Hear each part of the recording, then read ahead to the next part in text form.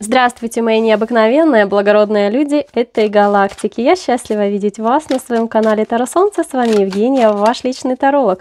Ну что же, он готов грызть землю, чтобы вернуть тебя. Давайте посмотрим, что он хочет вам сказать. За личными освещениями пишите мне в личку в Инстаграме и Фейсбук. Ссылочка в первом закрепленном комментарии. Что будешь говорить? Давай.